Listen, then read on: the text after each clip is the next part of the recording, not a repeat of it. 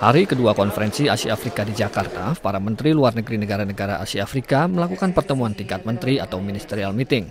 Dalam pertemuan yang dibuka oleh Menteri Luar Negeri Indonesia ini, membahas hasil-hasil dari senior official meeting kemarin, yaitu Bandung Message, kerjasama antar negara-negara Asia Afrika, dan dukungan kemerdekaan Palestina. Pertemuan ini juga akan membahas lebih dalam mengenai kerjasama strategis negara-negara Asia Afrika.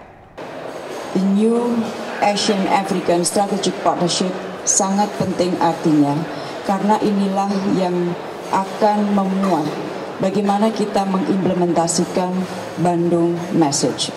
Peningkatan kerjasama ekonomi menjadi prioritas utama bagi sebagian besar delegasi, khususnya dari negara-negara Afrika yang pembangunannya masih tertinggal dibanding negara-negara Asia. Um, we are looking at very new uh, areas of interest. Um, I can't really go into details right now, but I'm sure um, at the end of the summit we'll be able to come up with very concrete uh, resolutions that are going to affect the cooperation between Asia and Africa.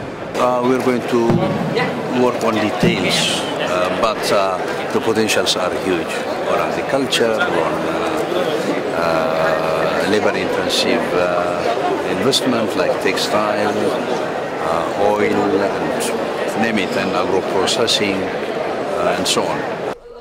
Hasil dari pertemuan ini nantinya akan diserahkan dalam pertemuan tingkat kepala negara yang akan berlangsung 22 dan 23 April mendatang. Dari Jakarta, Ahadian Utama dan Brian Padden melaporkan untuk VOA.